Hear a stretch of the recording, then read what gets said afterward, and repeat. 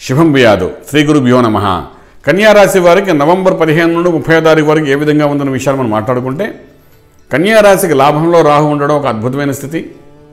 ద్వితీయ స్థానంలో శుక్రుడు ఉండడం ఇంకా అద్భుతమైన స్థితి. తృతీయంలో గురుడు ఉండడం చాలా బాగుంది. చతుర్థంలో శని యొక్క ప్రభావం బలహీనంగా ఉంది. పంచమలో ఉన్న కేతు ప్రభావము పిల్లల ద్వారా ఆడపిల్లల ద్వారా కొన్ని యోగాలు కనిపిస్తున్నాయి. గణపతి మంత్ర సాధన చేస్తుంటే చాలా బాగుంటుంది.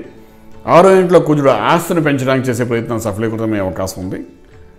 ఈ విధంగా ఉన్న కన్యారాశి వారు ఏంటంటే ఫస్ట్ ఇమ్మీడియట్గా వివాహం పిల్లలు ఆడపిల్లలు ఉంటే వివాహం కోసం చేసే ప్రయత్నాలు ఆపకుండా చేయగలిగితే మాత్రం సక్సెస్ఫుల్గా ముందుకెళ్ళడానికి అవకాశం కనిపిస్తుంది. అదేవిధంగా hotel industry pharma industry medical industry dairy farms లఘు పరిశ్రమలు కుటీ పరిశ్రమలు ఆఖరి కూరగాయల వ్యాపారం చేసిన వాళ్ళు కూడా లాభదాయకంగా కనిపిస్తుంది. ఫిల్మ్ ఇండస్ట్రీలో ఉన్న హీరోయిన్లకి మంచి అవకాశాలు కనబడతాయి. డైరెక్టర్స్కి ప్రొడ్యూసర్కి చక్కటి ధనలాభంగా కనబడుతోంది. ఈ పదిహేను రోజులు చేసే సంతకాలు కన పెట్టగలిగితే ఏదైనా ఎంఓయూ రాసుకోగలిగితే దాని ఆ ఫలితం అనేది మహా అద్భుతంగా కనబడే అవకాశం ఉంది.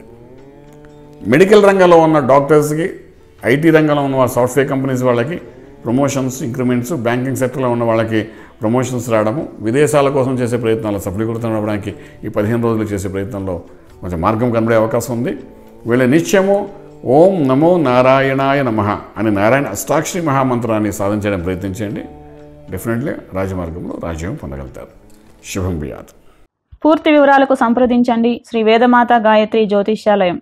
Brahma Srimantha Suryanarayana Sharma. Srinilayam first floor one not one. Sai Vaibhav layout. Chitrapuri colony Khajaguda Delhi public school పక్కన Nanakram Guda Hyderabad five lakhs eight. Phone numbers triple eight triple five nine one four seven. triple eight triple five nine one four eight. nine seven zero triple four seven double zero one. nine seven zero triple four seven double zero two.